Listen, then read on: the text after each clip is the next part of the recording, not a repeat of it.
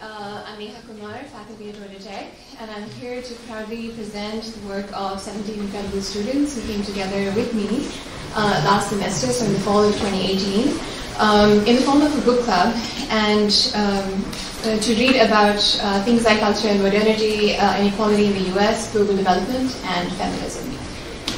Um, so just to call out the names, some of them are here in the room, others couldn't make it. Uh, Manasee uh, Narvilkar, uh, Josiah Mangiameli, Adriana Alvarado Garcia, Azra Ismail, Daniel Schiff, Danielle uh, Jordan Chen, Karthik Bhat, Marisol Wong-Villacres, Anusha Vasudev, Aparna Ramesh, Michaelanne Dye, Naveena Karusala, Pragati Singh, Savanthi Murthy, Shubhangi Gupta, Udaya Lakshmi, and myself. As we read, the 18 of us brought our knowledges and also uh, the lack thereof around feminism and different kinds of feminisms to the table, and each of us grappled with these questions in different ways. Questions like, what is feminism? Do I have feminist values? Am I allowed to be feminist? When can I call myself feminist? Is feminism for me? Do I know any feminists? Where do I see feminism in my life? As an HCC student, faculty, researcher, and HCC stands for Human Centered Computing. What does it mean to live like a feminist? Do I have to be like Sara Ahmed? Must I be critical of Sheryl Sandberg? Do I care enough? Do I want my voice to be heard? The answer for most of us, and for most of these questions, was it's complicated. Unpacking this to reflect some more, we came together to do a joint deliverable as a submission for alt.chi, and so um, our, our, our um, submission was really a collection of stories, and I'm going to share some of those with you. Uh, Nasira Ahmed in Living a Feminist Life talks of the importance of companion texts, and we found several along the way. Some of these resonated with us, validated us, reminded us that we're not alone. Some brought out the tensions that reside within us and among us. Each brings forth and introduces its own kind of feminism, legitimizing its own way of being. It may emphasize understanding and reflection, coping and self care, or action and emancipation. It may focus on women in corporate settings, oops, or those living on the margins of society, individuals of particular sexual orientations, or women just more generally speaking. Our companion text served us as guides as we found ourselves aligned with no single view, interpretation, or threshold of what it means to be feminist. Our expressions, our shades of feminism are based on our experiences. They're a consequence of navigating this world while doing the best that we can to understand and to persist. We engage with and also deviate from scholarly thought and written manifestos, relying on what we have lived, honoring the personal. Uh, Chimamanda Adichie uh, says, the consequence of a single story is this. It robs people of dignity, it makes our recognition of our equal humanity difficult. It emphasizes how we are different rather than how we are similar. Um, notwithstanding the differences, these feminisms and others do express common ideas and values that women and other groups have been and are marginalized. That the implicit and explicit structures that govern our world have had a hand in this that such marginalizations are variously reflected in the world of human centered computing, and that reorienting our values and actions might help to combat them. This is what brought us to do this. As Adichie says, stories matter, many stories matter. Stories have been used to dispossess and to malign, but stories can also be used to empower and to humanize. Stories can break the dignity of a people, but stories can also repair that broken dignity. The stories that we share with you, they move us, motivate us, challenge us, and anger us. They make us who we are. As human-centered computing students, researchers, faculty, professionals, we share them in the hope that they might bring you to reflect and to uncover the shade of feminism that fits you best. This shade may manifest as a commitment to action or the articulation of latent thought. It may be already vibrant, or it might be struggling to find definition. As a mild form of feminism, or a blend of multiple forms, the smallest step might be a radical one, and we invite you to take that step with us. Here's uh, story number one uh, by a student who um, uh, had this experience while she was doing fieldwork for her human-centered computing research. Madam, here's my number. Call me if you ever need anything, if you ever face an emergency. Don't worry, I will not ask for your number, I will never call you. Our eyes met in the rearview mirror, and I gave a tentative smile to the auto rickshaw driver. During our ride, as I headed home from my field site in Delhi, we had bonded over our mutual connection to Bihar and a nostalgia for the simple courtesy afforded there, all too often missing in Delhi, where people have loud voices and even louder opinions. But even as I recorded his number, I knew that I would never place that call the light in my eyes dimmed a little at this realization. I felt ashamed and guilty for giving into my fears around safety, for keeping a physical and emotional distance. And I felt angry at a society that made it difficult for a woman to have an entirely genuine interaction with a stranger.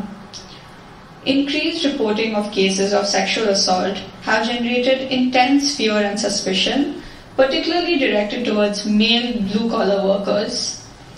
I have found, however, that these men are often migrant workers living away from home just to send their families enough so that they can afford decent lives. Many of these men have shown kindness to me as a young woman traveling alone. As more and more women in India and elsewhere begin to venture outside their homes and beyond, we need to acknowledge and honor these small yet large acts of kindness and noble intent.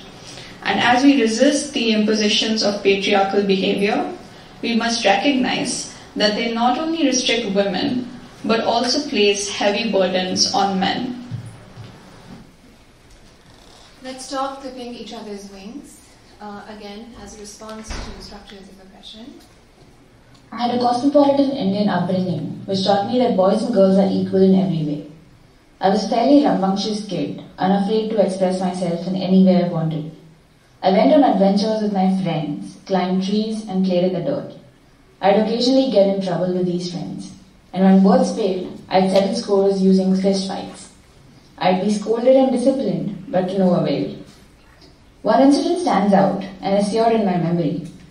One of the first talks an adult had with me was when I was six or seven years old. One of my favorite teachers sat me down and told me to stop getting into physical altercations with boys, as boys grow up, grow up to be stronger than girls, and that I might hurt myself. I remember being confused and hurt. Although I realize now that she spoke out of concern, that conversation has molded me in ways I cannot change. At major crossroads in my life, I've had to stop and think hard about what driving forces led me there. My response to being told I couldn't do something was to go do it twice as hard and not back down. I responded to the conversation with my teacher by taking up boxing in school, being the only girl to do so, becoming the sports captain after four years of representing my school at the state level, and the highest honor of all, marching at the head of the school on our annual sports day. Let's stop clipping each other's wings. And this is the ambition that also leads many of us into STEM education because that's the way we do it. Because that's the way we do it is the most common response I heard to questions about gender roles throughout my childhood. When I helped serve food or make tea in my grandparents' kitchen, I was praised, but my sister was expected to do so. I remember hearing my family say, In my time, girls only left the house to go to their husband's house. Going to college was never an option then, when my sister left home for grad school. Then I remembered them saying, why did you wait until you finish your education to get married? Who will marry you now that you're a specialized doctor? They also maintained it would be okay if she were a man, but a woman has to consider raising a family. I heard these and similar things at various childhood family gatherings, constantly reinforcing my sense of opportunity as a man, downplaying the barriers my sister has had to break before she could partake in the same opportunities. I started to question these relatives, asking, why do you say that to her but not to me? And why does that make sense anymore? Questioning bad logic is one thing, but questioning decades of cultural practices is quite another. Even as I persisted to argue, the conversations always shifted to how my generation failed to respect its elders or to recognize that they always knew better. It became clear that we were fighting traditions, not logic, and I can only hope that showing empathy to the women in my life now, in both my personal and professional circles, will pay dividends for posterity. Thank God for allyship. For me, feminism is about the privilege to be anything. Free of single stories, unapologetic for one's own stories, and respectful and celebratory of others. This definition did not start out as centered around gender or race or class, though now I often think in terms of such intersections. It started out as lack of confidence, fear of being too much, and eventually letting go of these feelings to be who I am and to have the space to be who I am. When I think about how I learned to be feminist, how I learned to be okay with being myself, there are many immediate associations. But what highlighted for me the importance of embodiment in diverse forms of feminist expression is dance its visceral melting of movement, emotions, and storytelling. I learned Kuchipudi, an Indian classical dance, for 14 years. It requires quite a bit of acting, in addition to pure rhythmic dance, and generally depicts stories from Hindu mythology. I remember being taught to beat the ground hard with my feet, becoming unafraid to make noise. Sharpen my movements, practice sequences until I was confident. I remember learning to play different characters, especially powerful goddesses and women in Hindu mythology. At first afraid to show the emotion that these roles called for, and then amazed that the emotions felt so powerful and resonant. The generosity of Lakshmi when she spontaneously showered golden gooseberries upon a woman who gave away the last bit of food in her house as alms. The anger of Kali so intense that she was on the cusp of destroying the whole universe until her husband laid himself at her feet to calm her the fatigue and frustration of Sita as she decided to return to the earth, her mother, after a life so full of injustice at the hands of men. These movements, stories, and embodiments, I learned that I can exist in the world and that I can be anything, maybe generous, angry, or tired, without hint of apology. Over time, I learned to notice when others operated on the belief that people, particularly women, could not be anything, or perhaps only one thing, or just a few things, and this informs my feminism. How can we give each other space to be ourselves? When does someone's self take away someone else's space to be themselves? Where is the balance? And who do we choose to ask these questions of? Um, that reflection always makes my eyes moist. Um, so the next one uh, is my own, talking about the margins of privilege. Um, wow, you're a real professor. Are you really a professor? Are you the TA? You're the only female professor I know. As women of color, be prepared. But no, I wasn't prepared to hear these comments when I first became tenure track faculty. And I wasn't prepared for the moment when a dear and cherished mentor said to me that I was special because of my gender, ethnicity, and how rare the combination is in the field of computing. I struggled to respond to such remarks, no less than I had struggled to respond some years ago, sitting in a room full of senior Google executives and newly awarded Anita Borg scholars on being asked, what were your experiences, subtext, of marginalization as a woman in STEM? I tried to answer, to recall a story of oppression, a story that the room was expecting to hear. I had always seen myself as privileged and felt uncomfortable disempowered even, at the seeming imposition that there must have been such disadvantage, that there must have been um, a way that I was marginalized because I was a woman of color in computing. I thought back to the class of 200 students I had taken on digital systems design, where there were only nine other women, but no memories of feeling oppressed came to mind. The only somewhat relevant incident I could recall was when a male friend whose application to major in computer science had been rejected for the fifth time told me that I would have no problem getting in because I was a girl. To my naive self at the time, being a girl in STEM became a clear advantage then, not a point of vulnerability. Today, my understanding is slightly more nuanced, but it has taken some time and many unsolicited reminders that I belong to an underrepresented group in computing.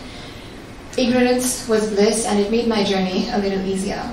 Today, I find myself alternate between a strong sense of injustice that the world is how it is, like when James Damore's manifesto came out, and a stronger sense of determination that it must not stay this way. I realize I'm on some margin, but a margin that unequivocally intersects with privilege. Every day, I aim to bring this privilege and marginality in dialogue with one another ensuring that they work together in tandem to become drivers of change. That is what being a feminist and HCC researcher is all about to me. There are 13 more stories where these came from, and you can find them in our paper, and there are many more in this room, I bet. Each of our stories presents a window into the lives of human centered computing students, researchers, practitioners, where they come from, and how they are led, shaped and moved by tradition, yet ready for change. The shades of feminism they bring to human centered computing are not singularly representative of any one kind of feminism, but rooted in many diverse backgrounds and lived experiences. And when we place them along continuums of feminist expressions, they aspire to build a future that is different, equitable, and just whether it is by renewing attention to age old structures of oppression or discovering in them our sources of inspiration as we define feminism for ourselves, also developing our own forms of resistance and solidarity to respond to these structures. Our hope is that these structures will inspire more among us to reflect on our own backgrounds and experiences towards an understanding of the shades of feminism that they bring to the discipline, to contribute to a holistic growth of it. May many more of us be drawn to confront the expectations of tradition, combat the more and less overt institutional barriers that challenge education and embrace an activistic stance, whether it is through embracing strands of radical feminism, reinforcing liberal feminist thought, other feminisms, or a blend of several. As Adichie says, many stories matter. And we hope that you and future readers will find value in sharing and partaking of these stories, these shades of feminism, and take the next steps to express your own. So with that, I'd like to invite anyone who would like to share. Of course, questions are welcome, but we'd love to hear more stories. Thank you.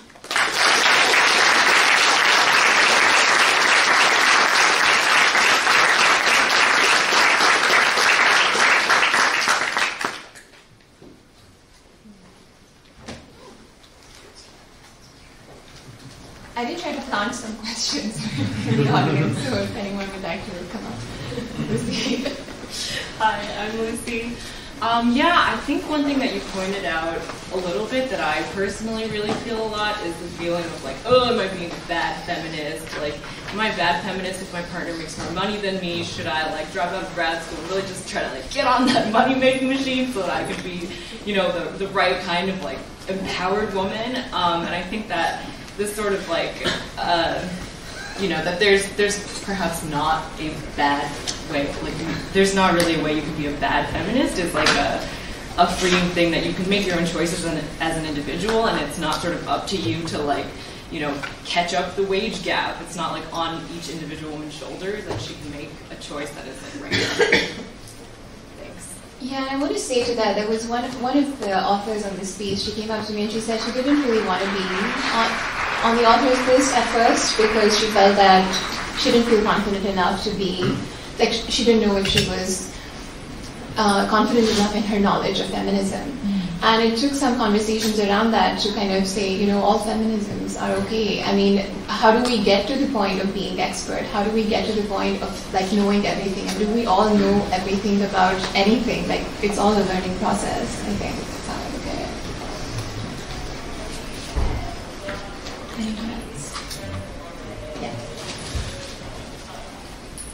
So um, I, I don't know what. It's kind of an interesting uh, little story. My, my wife uh, was an academic, and she got pregnant.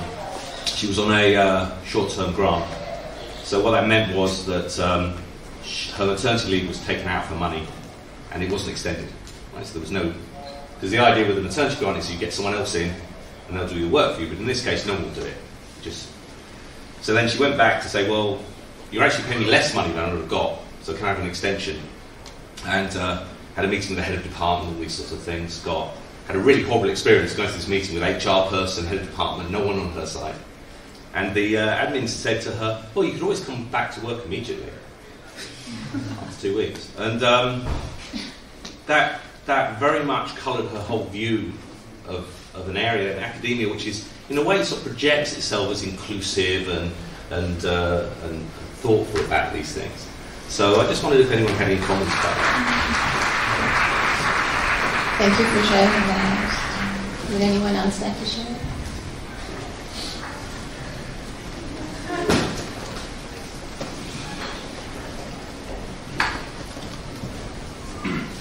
Hello, uh, Santiago Zubair from Georgia Tech. Nice to see you. Um, I wasn't really prepared to share, but I have a question. But I will share a quick story now that I that everybody else started. Um,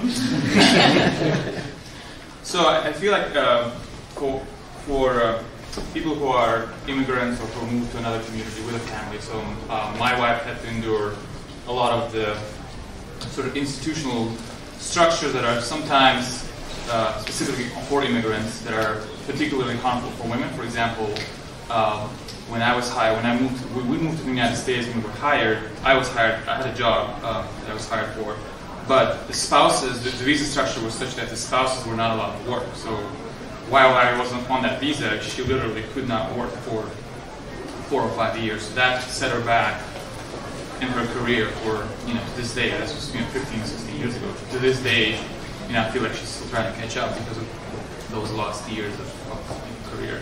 Uh, my question was uh, about uh, if you could talk about how that group how the group came together and also what were the kind of daily experiences of like crafting the stories and reflecting what are some of the reflective practices that you went through in coming up with that thank you um, so first thank you for sharing the story and i think that there are lots among us in this room um, who would have more stories to share along those lines uh, with regards to the question that you asked um, so we actually came together at a seminar and we decided, and, and every fall I do the seminar, but this year um, we, we try out different formats and this year we try to do a book club.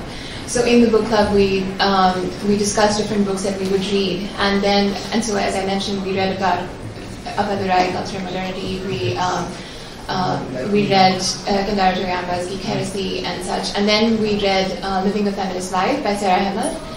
And that's a really powerful text and it brought up a lot of questions for us in the room. And uh, there were 18 of us, as I mentioned, and, and there were there were lots of questions. There were questions around, well, do we have to be like her? Do we have to um, have you know those strong uh, sentiments if we really want to be uh, be able to call ourselves feminists? Like, when am I allowed to be feminist? And so, as we were having those discussions, and because I already do uh, feminist research in HCI uh, we started to read more uh, of the text that at least I was familiar with.